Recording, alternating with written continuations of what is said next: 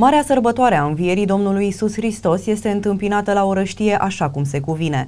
Noul centru al orașului a căpătat o imagine și mai frumoasă, mai strălucitoare, decorat cu pasiune și bucurie de elevii mai multor școli. Sprijiniți de primăria care a cumpărat toate cele necesare, copiii au fost cei care au reușit să aducă spiritul sărbătorii în inima orașului.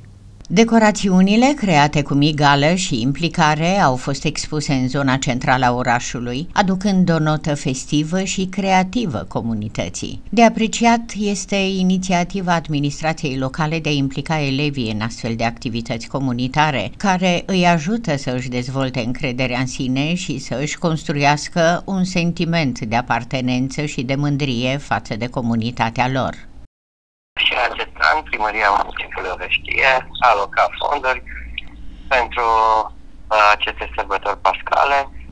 Am organizat, am uh, făcut uh, ca acest centru pe care l-am uh, renovat uh, și sperăm să finalizăm anul acesta lucrările, arată minunat uh, și l-am și împodobit cu aceste decorații ornamentale uh, pentru sărbătorile pascale.